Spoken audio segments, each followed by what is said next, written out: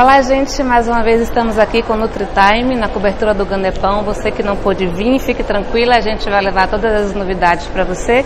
Eu trago para você agora uma sala interessante que a gente assistiu com o Dr. Wischmeier e o tema era Terapia Nutricional no doente, no doente Crítico. O futuro chegou. Ele começou posicionando a gente sobre alguns dados interessantes que a literatura tem trazido, né? E ele perguntou: nós estamos entregando sobreviventes ou vítimas? A gente precisa pensar nisso.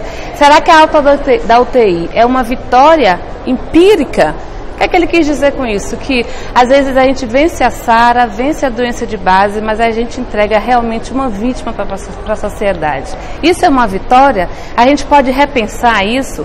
Ele fala que metade dos nossos pacientes morrem até um ano após a alta do UTI. Isso é reversível? O desafio para eles é que eles vão ter que reaprender a deglutir, reaprender a andar. Isso é bastante difícil para o paciente quando sai da UTI, a depender do tratamento que ele teve intra-UTI. Em média, o paciente leva até um ano para poder voltar às suas atividades prévia, plenamente, como ele fazia antes da UTI. Né? E que os pacientes perdem até um quilo de massa magra por dia na UTI. Onde é que a gente entra nesse cenário? O que é que a gente pode fazer?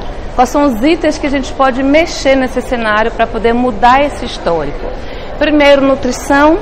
Segundo, reabilitação. E terceiro, atividade física. Foi o que ele trouxe para a gente. E o que interessa para a gente aqui é a nutrição. Né? Como é que a nutrição pode ajudar, por exemplo, nesse paciente a vencer essa resistência anabólica que é característica do nosso paciente na UTI.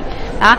Primeiro lugar, a gente tem que fazer uma nutrição personalizada, individualizada. Essa é uma tecla que a gente já vem batendo em todos os congressos, em todas as publicações.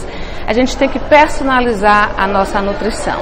E segundo, é a proteína. A proteína realmente é o, é o nutriente mais importante dentro da UTI, porque ela vai ajudar o paciente a vencer essa resistência anabólica. Sem a proteína, isso não vai ser possível. Sem a proteína, nosso paciente não vai conseguir largar o ventilador. Né? A gente precisa fortalecer ele, o músculo claro que casado com a reabilitação, tá?